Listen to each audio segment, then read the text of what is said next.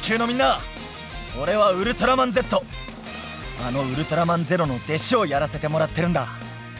この時間は俺とゼロ師匠が出会った頃のお話をお届けするぜ。ウルトラレアな裏話なんかも聞けちゃうかもしれないぜ。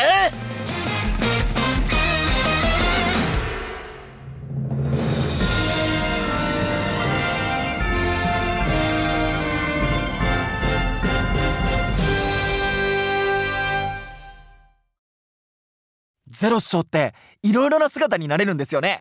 おうまあな。どの姿が一番強いとかあるんですか？いやそうだな。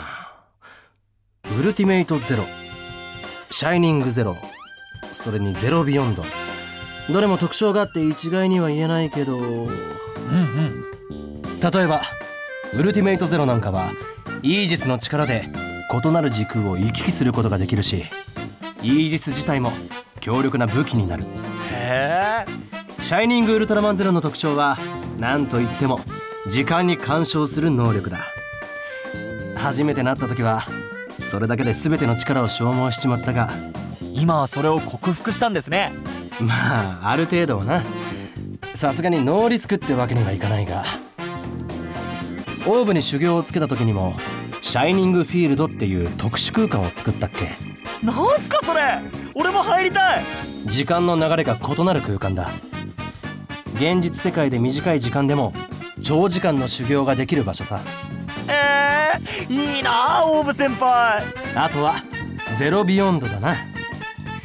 ニュージェネレーションヒーローズの力で強化された形態だ。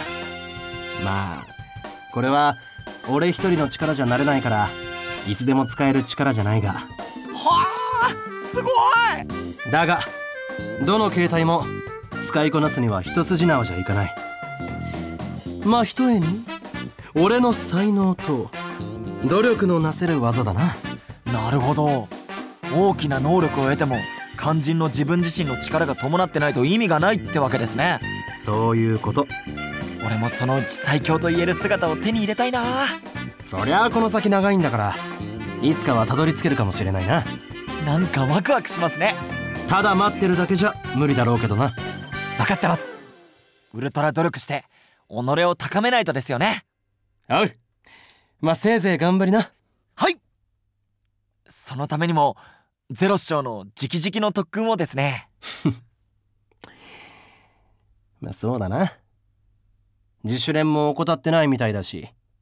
初めて会った時よりは少しはたくましくなってきたようだからもう少ししたら見てやってもいいかもな。マジですか？うおー！ウルトラ嬉しい！な何も泣くことないだろう。俺ちょっと走り込み行ってきます！あおい！なんだかな